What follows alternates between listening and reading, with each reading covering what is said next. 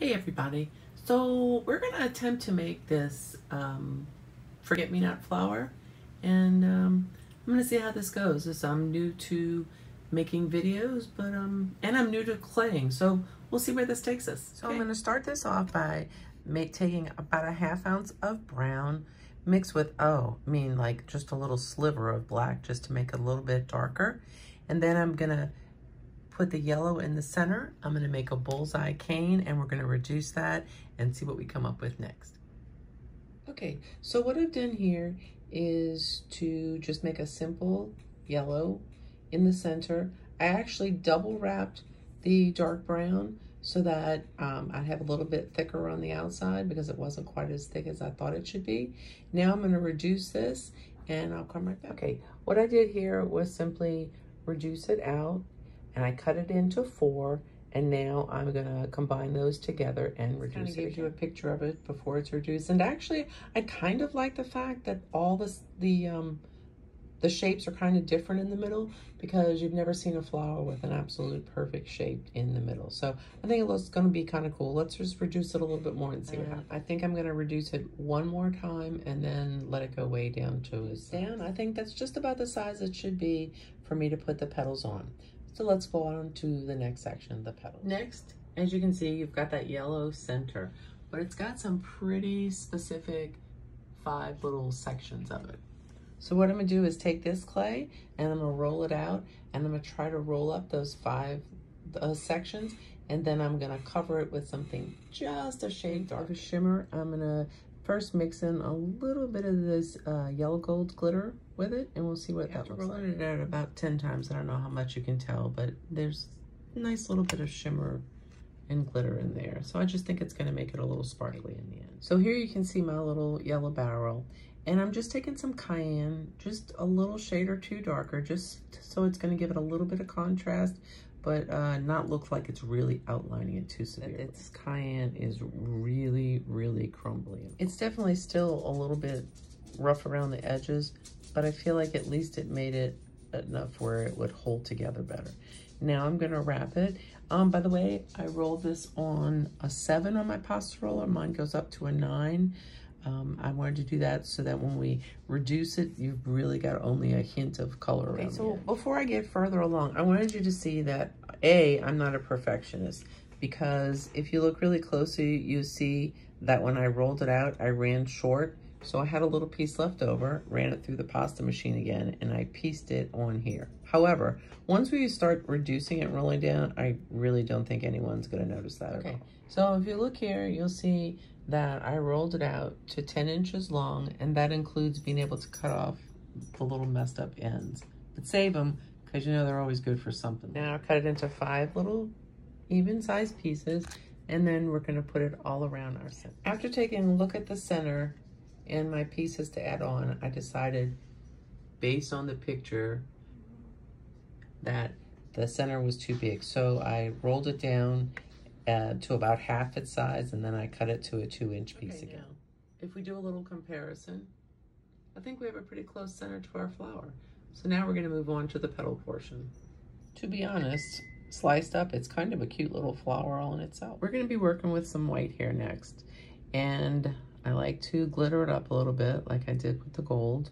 Um, so I'm adding a little white gold glitter along with the white. And then I think I'm just looking at this and I feel like maybe we want to take that white and extend it around the yellow and then put the blue petals on. I'm not sure yet. I'm still thinking. So currently for me, this is kind of all just guesswork, but we're just going as we go.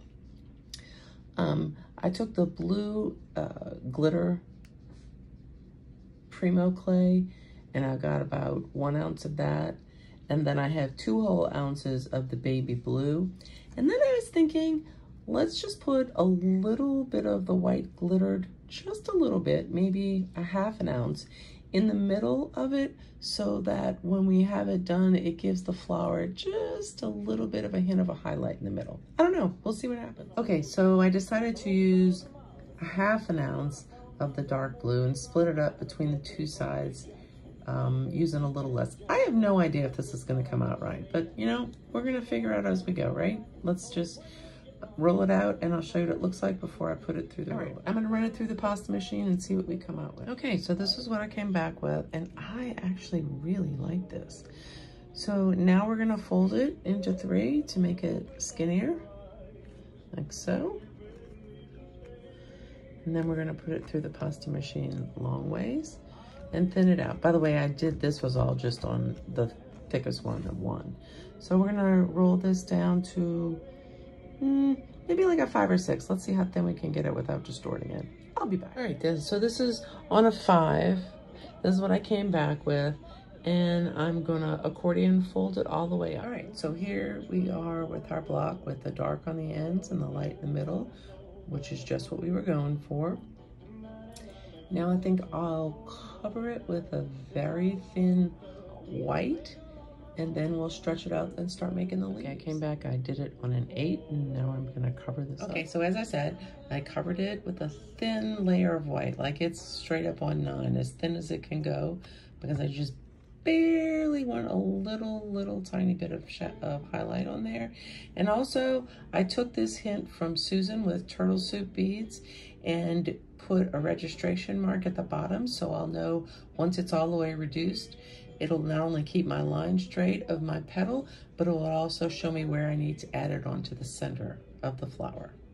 Okay, I'm gonna go reduce this now and I'll be back. All right, I cut it, but it looks a little too square, triangular to me. So now I'm gonna go and work the edges and see if I can round them a little bit and see what we can come up with. Okay, so I'm a little bit happier with this outcome, though not perfect. However, if you look at it now against the center, the center is way, way too big for the size that we had to reduce the petal to.